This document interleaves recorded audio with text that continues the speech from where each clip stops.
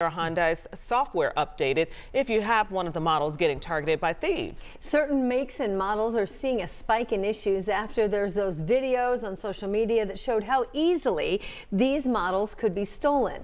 Allison Gormly tonight has an update in What's the Deal?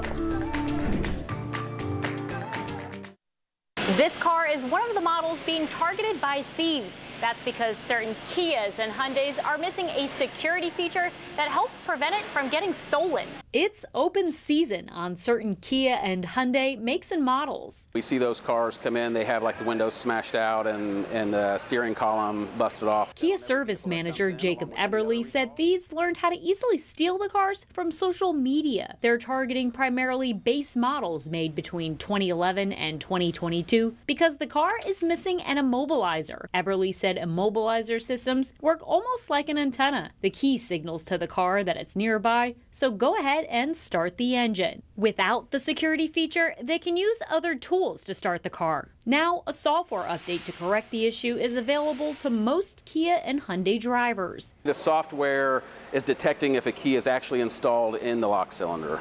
So if the if the vehicle does not detect a key is inserted into the lock cylinder, it will not start. The update is free and it takes less than an hour. The dealer will also put a sticker on your window to let people know the car is updated. It's it's very important that it does get taken care of. The last thing we want is to anybody have their vehicle stolen. From 2022 to 2023, IMPD told us that Kia thefts in Indy are up almost 364%. Hyundai thefts are up about 177%. To find out if your car is affected, simply call the dealer and ask. There's more than 86,000 in Indiana and more than 67,000 just in the Indianapolis region. If your car is one of the select that cannot handle the software update, ask the car maker to be reimbursed for a steering wheel lock. Allison Gormly, 13 News.